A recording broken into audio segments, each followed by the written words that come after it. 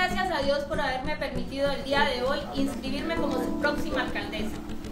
Estoy proponiendo para toda la comunidad y para ustedes mujeres que vamos a recuperar la seguridad de nuestro municipio, que vamos a recuperar la autoridad y que vamos a hacer un equilibrio en las finanzas públicas de nuestro municipio, porque todos unidos podremos lograr el Yopal que queremos, podemos el campo. Los invito este 26 de noviembre a que marquen por Narda Perilla, porque con Narda se puede.